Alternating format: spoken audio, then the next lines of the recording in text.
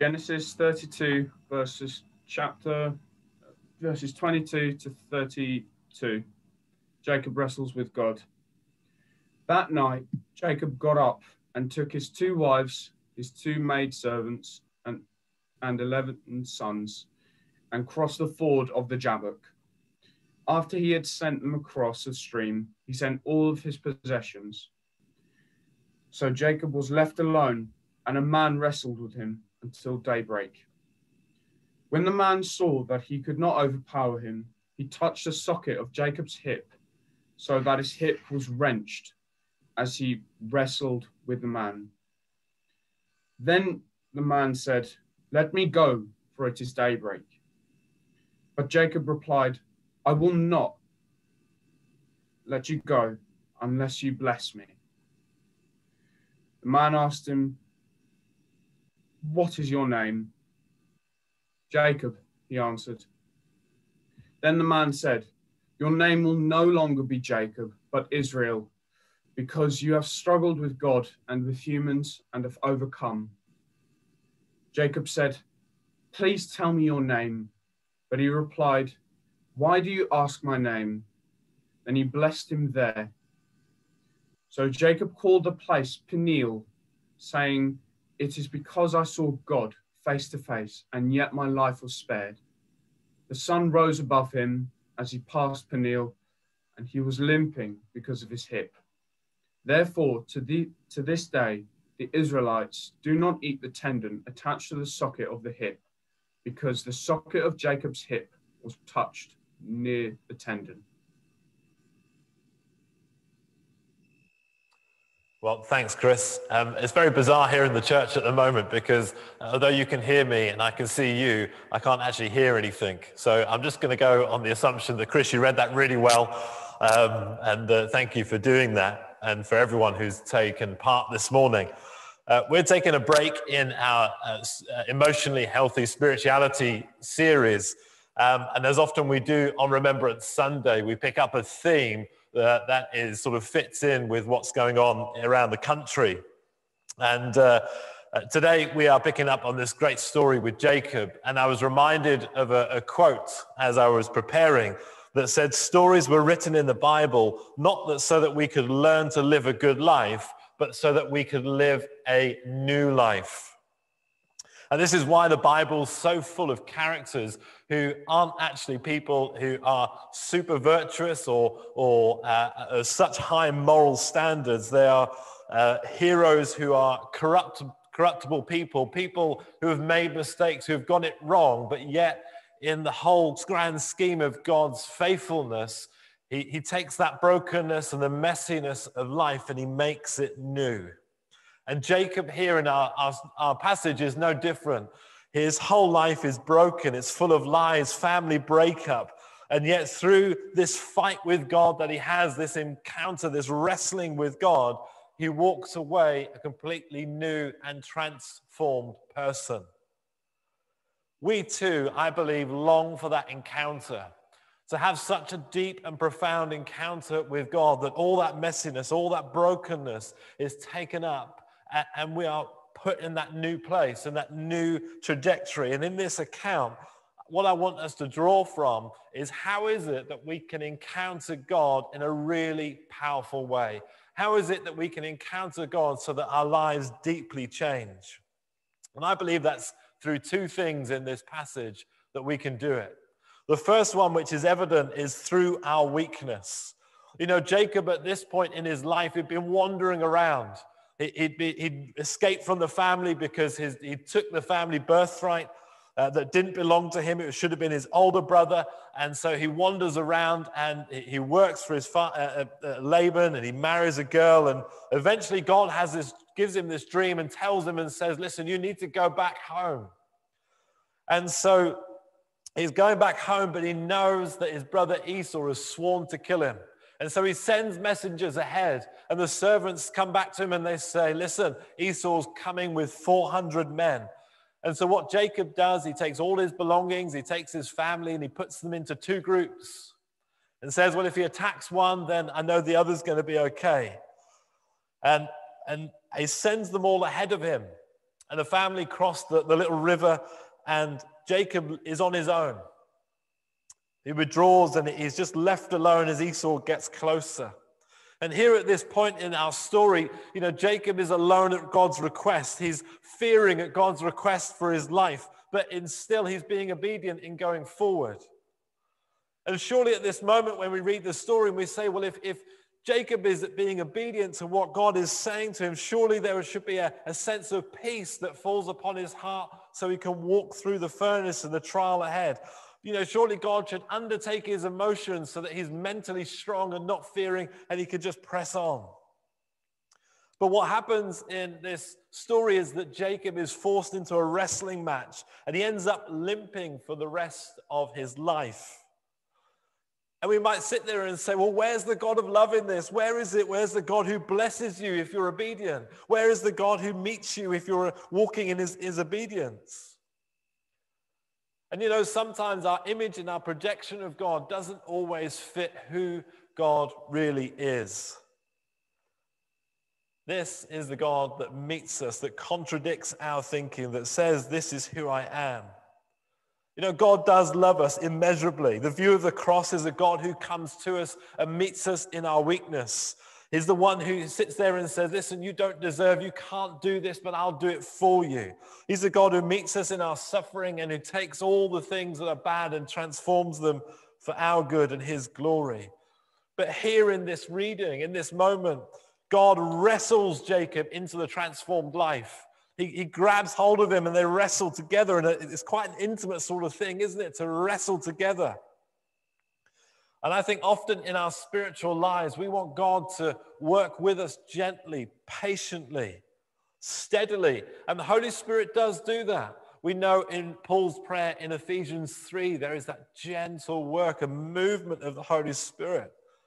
But you know, there's also times in our spiritual lives where God physically almost has to get hold of us and bring us to this place where we wrestle and, and we wrestle for growth, and He wrestles that change into us. And here in this passage, Jacob wrestles, but he doesn't actually have a clear idea it's God at the beginning who he's wrestling with until we get to verse 28. He realizes and he knows and he, he, he, he calls the place Penuel, which effectively means coming face to face with God. But what, Jake, what is it that in this story wakens Jacob's awareness that he's wrestling with God himself, where he comes to that realization that he's not just wrestling anyone? Well, along with most scholars, I think it's at verse 25. Although he would have known the stories of his grandfather, of Abraham, of God turning up as a visitor, and, and those sort of uh, situations of God being present at different moments. The, the time when he has this great sort of awakening and this realization that he's wrestling not just with anyone is that moment where his hip is touched. You know, in the Hebrew, when uh, it says that his hip is touched, it's not a great big whack, it's not a punch to the hip that suddenly renders him limping. In the Hebrew, it says it's a light tap.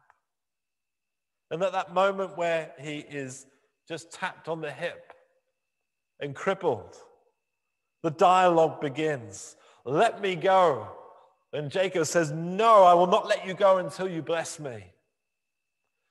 And when we step back from the story, what we see is that in Jacob's struggle, in that moment of weakness, as he's crippled, as he's hurt, as he's, as he's sitting there in, in, in the fight, when he's most vulnerable, at that moment, he refuses to let go of God. He refuses to let go of God in that moment of weakness. He clings on. You know, we live in an age of instant gratification. You know, I was, I was, sort of laughing as I was reflecting on this because uh, Caroline and I went for a walk on, on Friday around Arlington Reservoir. Uh, and as we were driving back, you know, you're hungry after a walk, aren't you? If you've had a good stretch of the legs. And as you came up to the Polegate uh, roundabout, there's a big McDonald's, isn't there? And I'm sort of whispering in Caroline's ear, oh, wouldn't it be just great to get a double cheeseburger? You know, fulfill that instant need because we've got a fast food restaurant. But it doesn't stop there. We can always fulfill our needs, can't we, with the things around us? If you go on Amazon, you can have something delivered the next day. If you want entertainment, it's there at a click of a button on your TV or on your iPad. And yet, our world has changed around us. As much as we can be instantly gratified by some things, we're now facing a second lockdown where actually there are some things that we cannot have no matter how much we want them. There is no so- social gathering. There is no family go- uh, sense of coming together for family events. The church family has been stopped from meeting again. And so, in this moment of vulnerability and weakness, in this moment where our desires cannot be met in the way that we want them, what is our response to the pain? What is our response to the frustration? Maybe this time over the month, it's an opportunity for God to wrestle out those needs and those wants of sinful desires, those sense of, of just satisfying of what I want. And now is the time we sit there and say, Lord, I'm holding on to you because I want you to bless me. I'm praying into you. I'm praying into this situation until you bless. But it's an interesting thing, isn't it, to pray for a blessing? So often in Jacob's life, and I believe in ours too, we reduce the idea of God's blessing down to the things that I think this is what God should bless in order that I should gain. You know, we can even disguise good lists of what God should bless, but not always are they the ones that are on God's list. You know, in this moment of personal encounter, Jacob, for the first time in his life, and I think quite poignantly in this passage, he isn't wrestling with something in order to get a blessing that he might gain. You see, when you look at Jacob's life, in the womb, he wrestled to get first over his twin brother. Came out and holding on the heel, wanting to be first, fighting in the womb with him. He wanted the family blessing, the sense of favor upon his life and so he tricked his dad, stole from his brother what was rightfully his in order to get the blessing he wanted. When his father, uh, Laban, tricks him because he wants the blessing of, a, of a, a beautiful wife. He wants the blessing of the wealth of livestock, so he tricks his father. He wants the blessing of marrying Rachel, the woman of who he loves. All his life has been marked by saying, This is what I want. This is what I want you to bless. But now, in this moment, as he's wrestling with God, as he's there in his moment of weakness, in amongst this crisis moment with Esau, as he's wrestling with him. And instead of asking for a blessing and saying, I want dominance over my brother, I want favor, I want to live, he doesn't ask for anything but a blessing. And that's because in this moment of encounter, he has realized that God is enough in this fight. He stops looking for favor in the family. He stops looking for status through the wealth in order to accumulate what he has. He stops looking for love in a person in order to feel blessed. He just wants the blessing of God. He just wants God to bless him and bring his own God's own approval, God's own supply, God's own love upon him. When we see in our relationship with God,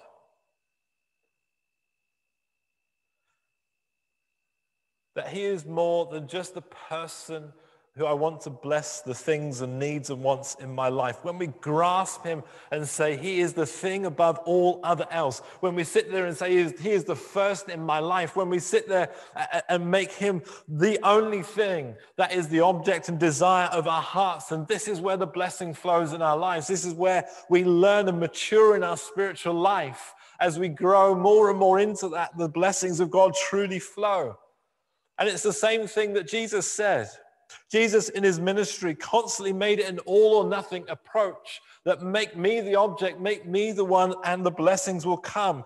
Doesn't he? He says, Come to me, all who are weary. He doesn't say, sort of just treat me as a sideshow. Come to me, give yourself to me, and I will give you rest. He sits there in the Sermon on the Mount and says, No one can serve two masters. You will always prioritize one over the other. And then famously, he says, Whoever wants to be my disciple, my follower, whoever wants to come after me and, inherit these things in the kingdom of God and my relationship must what? Deny themselves, take up their cross, and follow me. Deny everything.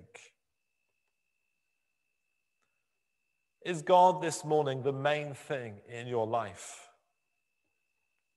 Or is he a friend you call upon when you want something? If you want to have a deep personal encounter with the Lord, then make God the very person, the very thing that you cling onto and you grab hold on and you don't let go and you say, until you bless me.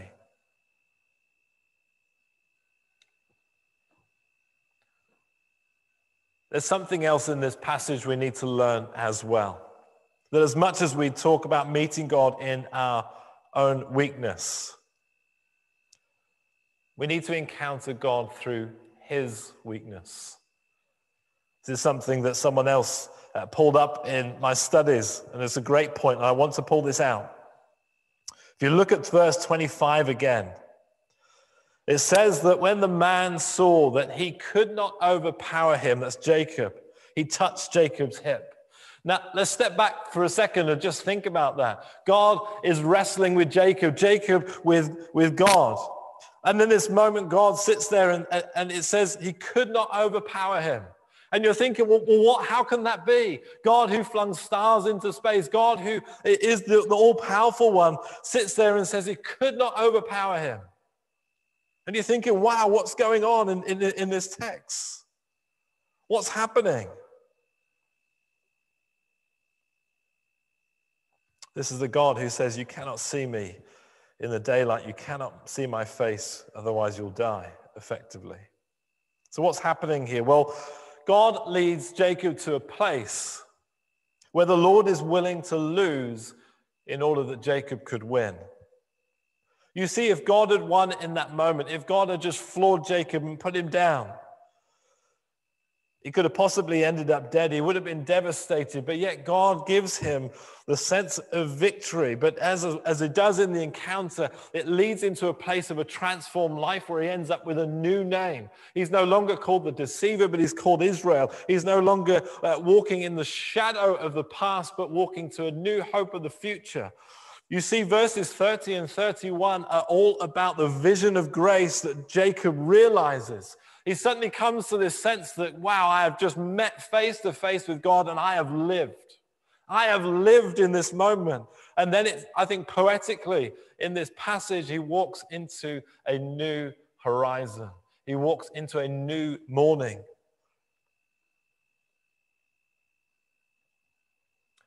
But yet, if we know our Bibles, this is not the first time that God gives up his strength so that someone else could win that someone else could be transformed, that someone else could receive a new name and walk into a new hope. Jesus on the cross held nothing back, did not withstand nothing. He bears in this moment on the cross the full weight of divine judgment of all humanity. All of God's justice is poured out, poured out upon him on the cross in that moment. He bears the weight of every sin, of every wrong thing that we have done and said. He takes upon himself the rejection, the shame of everyone around him, of all us as two. And he wrestles each one to the point that he dies. He loses in that moment so that we could win. He dies in our place. He takes our punishment and bears our sin and shame. Why? So that we could be have people who could be walking in a new name. We are called the sons and daughters of God. We are not masked with the shame and the sin and the guilt. We, we, we walk with a new identity, just like Jacob. We learn to walk in the truth, and we know that the truth can set us free of what he has done. We know we walk in the sense of affection that God loves us, that he gave himself for us. But we also walk into that newness of hope because of the resurrection. Just as Jacob walks into the new light and the new dawn of the new morning, it reminds me of the Emmaus Road experience. Walking in a new week, walking with the risen Christ, walking with a new humanity as a husband and wife are walking and talking with Jesus at that moment. Everything is new, everything is blessed. You see, to encounter God isn't just in our weakness to grab hold of Him, but to encounter God, to have a deep personal spiritual encounter in the wrestle is to grab hold of Him in His weakness and not be moved either. There is always a danger that we know the gospel, we believe it, but we don't live in it. You see, we can look at the times of, of, our lives and we can perhaps reflect and just see just like Jacob, we've been selfish. We've been looking and asking God to bless things for our own need and not for the others, not for anything else of what God desires. We can admit that we've been distant in, in our relationship with God. We've not put Him first like we want to. And you see, our normal human experience is that when we've done wrong, we recoil, we come back. We shy away. You know, I see it with my kids. If I tell them off, like my youngest one, she, she sort of cowers up. You know, you see the body, it sort of almost wants to self protect because of the shame, because of the, the wrongness. And it, it, it almost creates a bit of a distance. And we still do the same as adults. We still do the same thing internally. But if we see that God's love for us in Jesus he became weak so that we could become strong. He gave up so that we could inherit. When we see that and we grab hold of that, what it does is rather than push us away, it magnetizes us to the cross. It magnetizes us to the love of God. It compels us to come forward and encounter Him again and again and again because we can.